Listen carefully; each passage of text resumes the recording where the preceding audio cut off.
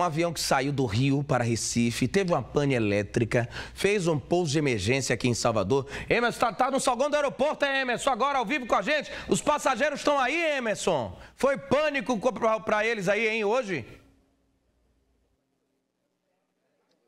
Pois é, Léo. Muitos passageiros estão aqui, inclusive, aguardando no saguão do Aeroporto Internacional de Salvador. Aqui ao meu lado, a Stephanie Lopes, ela que é uma das passageiras. Ela estava passando aqui em Salvador, veio a passeio, iria fazer conexão em Recife, mas devido a esse problema, precisou retornar aqui para a capital baiana. Ela que é do Rio de Janeiro. Muito bom dia, Stephanie. Fala pra gente o que, é que aconteceu hoje pela manhã.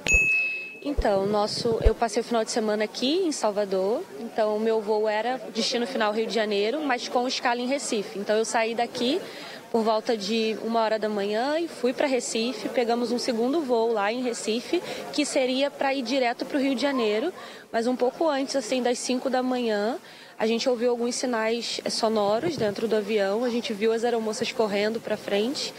E, e aí, logo em seguida, o piloto avisou que precisaríamos fazer um pouso de emergência aqui em Salvador mas não foi, não foi logo assim. Logo que ele falou, a gente já pousou. A gente ficou dando voltas e voltas e voltas.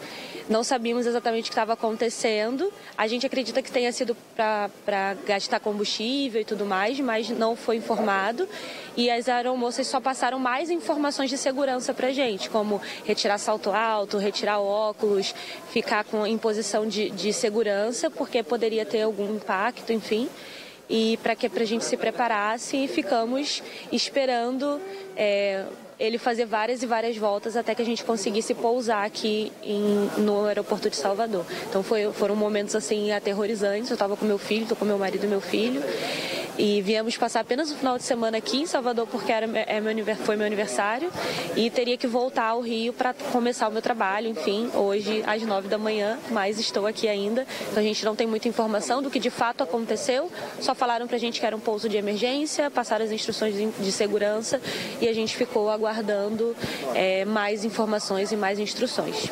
E agora continua aguardando aqui o posicionamento da companhia aérea em relação né, a um outro voo que pode fazer essa viagem de vocês de volta para casa. É, a gente ainda não tem essa informação, eles deram um café da manhã para gente aqui, to todas as famílias estão aqui, tomamos café e estamos esperando eles dizerem se vão encaixar a gente em outros voos ou se vão trazer uma outra aeronave para cá. Eu só sei que nessa, nessa que eu cheguei eu não vou mais.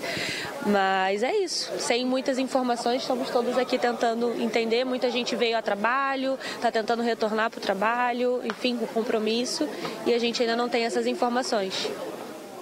Pronto, muito obrigado, viu, Stephanie, pelas informações. Eu vou tentar uma outra pessoa aqui, Léo, que também passou pela mesma situação. Estava aqui em Salvador, qual seria o destino? Na verdade, a gente só estava saindo de Recife, né? A gente trabalha com Menos é Mais, um grupo de samba e pagode, a gente estava fazendo show e voltou no voo de 12h35 da manhã. E aí, durante o voo, eu lembro de ter sido acordado né, pela aeromoça e ela falou o seguinte, gente, retirem todos os objetos pontiagudos, cordões, quaisquer é, coisas, é, computadores, carregadores e tal, e estejam preparados, porque a qualquer momento pode ter um impacto e vocês vão ser solicitados pela tripulação a abraçar o próprio corpo, né? Que é uma posição de segurança, onde a gente abraça as próprias pernas. E ela explicou que naquele momento que foi uma pane elétrica no avião, foi o que foi dito pela aeromoça. Né? Claro que assim, em um momento como esse a gente né, fica desesperado, então a gente ficou aguardando o que ia acontecer e o avião sobrevoou por algumas horas, né, por algumas perdão, por alguns instantes, agora não lembro exatamente, e Salvador. Ficou rodando, acho que uns 20, 30 minutos. E aí a gente conseguiu pousar, né? Graças a Deus. Mas bem arriscado, né? Situação bem complicada. Ficou muito assustado lá dentro? Como é que foi a situação para esse momento? Então, bem assustado, bem assustado. Tinha muita gente chorando. Meu Deus, foi, foi assustador. Foi uma cena terrível, terrível. É o tipo de coisa que a gente não deseja para ninguém. Mas, enfim, graças a Deus a gente está bem, né? Só aguardando agora uma resposta da companhia em relação ao que aconteceu, porque aparentemente existe uma clara tentativa de evasão em relação ao real motivo. Né? Alguns, os primeiros papéis, né? as primeiras declarações de contingência foram assinadas como pane elétrica, mas as seguintes estão sendo assinadas de outra forma. Então existe, para mim, uma tentativa de evasão um pouco clara sobre o real problema da situação. Agora, então, aguardar o posicionamento aí da companhia aérea para poder voltar para o destino final. É, exatamente. A gente viu que tem um voo disponível às 10 horas, mas aparentemente só é possível entrar nesse voo, nesse voo comprando. E a gente que passou por um problema absurdo como esse não consegue nem entrar nesse voo. Então, assim, a política é bem distorcida, né? Em relação a, a, ao bem-estar do consumidor, enfim. É tragente. Oi, Léo, você tem uma pergunta? Oi, Emerson, eu tenho assim uma pergunta. Você está aí conversando com vários passageiros, né? Inclusive tem outras pessoas que estavam no avião, só não entendi. O que foi? Pergunta ele aí, que ele fala muito bem, inclusive, né? Pergunta a ele é, o que foi que exatamente o comandante que estava lá em cima falou pra gente. Deu uma queda no sinal aí, mas Emerson está me ouvindo? Vai voltar o sinal rápido, que aqui é tudo muito rápido. São 8 horas e 43 minutos, 8 e 43. O Emerson continua me ouvindo, tá? Já já, quando voltar, ele já pode voltar com a resposta. Porque os passageiros estavam lá em cima. Você viu o que os dois falaram? Se preparem para o impacto. Tire a, a, a, quem estava de salto alto, tirar, tirar a corrente, tirar, como é o nome? Guardar notebook, guardar equipamento pelo amor de Deus. E, e, e como, é, pra, por um, como é se preparar para um possível impacto. Imagine que situação. Só faltou o comandante pegar. Ah, bote a identidade no bolso para o reconhecimento dos corpos. Só faltou ele falar isso, né? Pelo que eles estão falando aí. Ei, Emerson, já voltou o sinal do Emerson? Pergunta ele aí, Emerson, lá em cima, como foi exatamente que o comandante falou para os passageiros no comunicado? Olha, o apresentador lá do estúdio quer saber exatamente qual foi a recomendação por parte aí do comandante da aeronave no momento em que essa situação toda aconteceu. Então, é, de início, quem falou conosco, na realidade, foi a aeromoça. Ela usou aquele, aquela comunicação interna da aeronave e pediu para que a gente retirasse cordões, quaisquer objetos pontiagudos, né, ou que fossem possivelmente cortantes, guardasse tudo, né, ou computadores também, iPads, e que se preparasse para uma posição de impacto, né? Que seria abraçando as próprias pernas. E aí, para guardar a tripulação, falar isso. E aí, imediatamente a galera já começa a chorar, ficar desesperada, assim, é absurdo.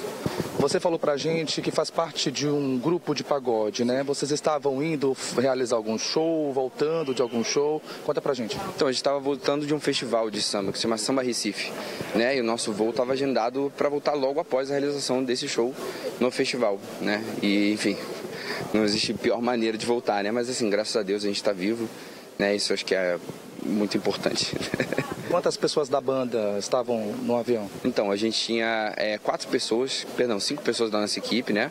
O segurança, tínhamos três pessoas da banda e o nosso técnico de som estava conosco nesse momento. E como é seu nome? Miguel. Miguel, muito obrigado, viu, pelas informações.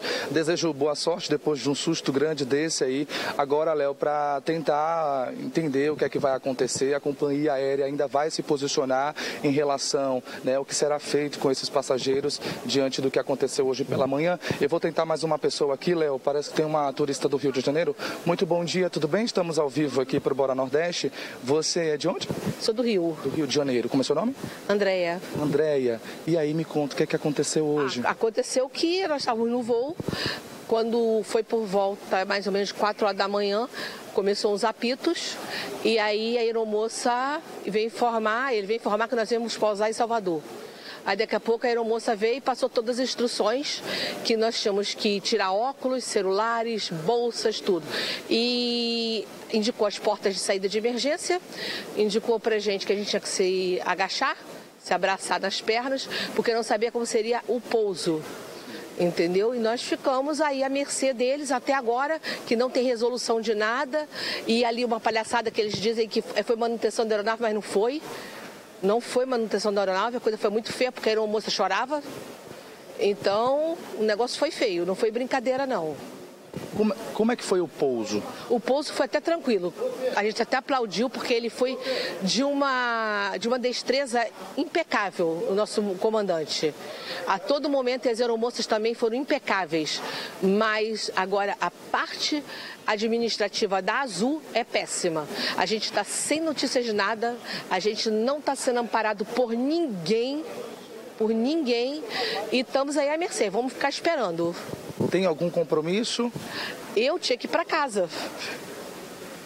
Não tem trabalho, não tem nada, não, apenas ir para casa. Eu quero ir para casa.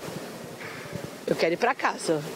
Ok. Muito obrigado, então, tá viu, pelas informações. Léo, então eu vou devolver para você aí no estúdio com essa imagem aí da quantidade de pessoas que estavam nesse voo hoje pela manhã que precisou fazer esse pouso de emergência aqui no Aeroporto Internacional de Salvador. Um susto enorme aí para esses passageiros, mas apesar disso tudo, eles estão bem agora aguardando aí o que é que a companhia aérea vai decidir em relação é, a eles, viu, Léo? Volto com você.